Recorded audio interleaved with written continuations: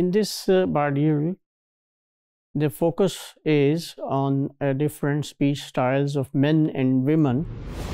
Feminist linguists, they explain the reason behind different speech styles. Uh, their opinion is that this is not that women's language makes them weak.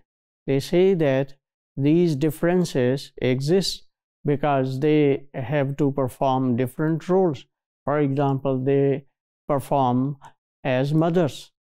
And uh, early socialization at home, it makes them realize that this would be your future role. And as a result of this socialization, they have to adopt different speech style, different speech habits.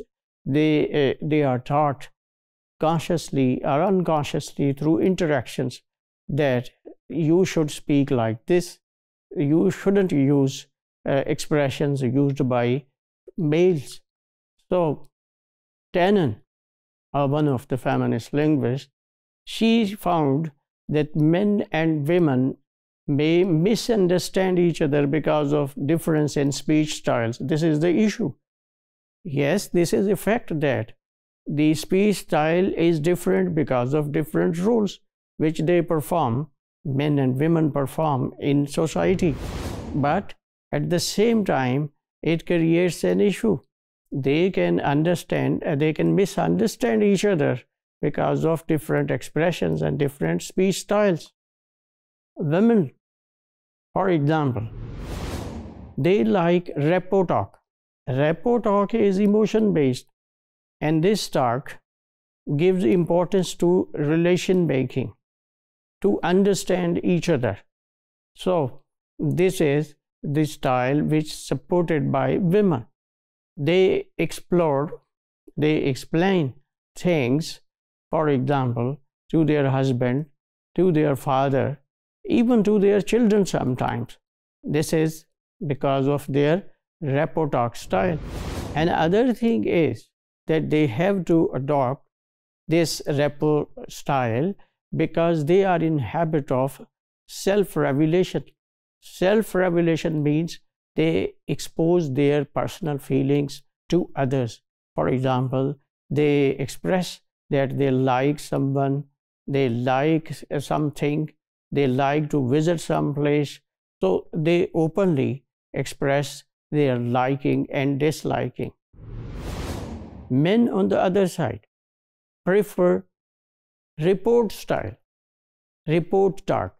In report talk, instead of emotions, information and reporting of information is given importance.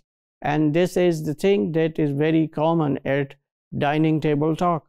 We see uh, when we sit for dinner, at the dinner time, everyone in family reports to the father that how they spent their day today. And father listens to them, passes comments on their activities. He praises someone or he sometimes expresses disapproval for someone he encourages someone. So this is the style of males. This style is expected by the family because they think father knows everything. Father has reason, father has experience of life, so he can pass rational judgment about their actions. So these are two different speech styles which have been noted by the researcher Tannen. Now, at the end of the module, I would like that you conduct this task.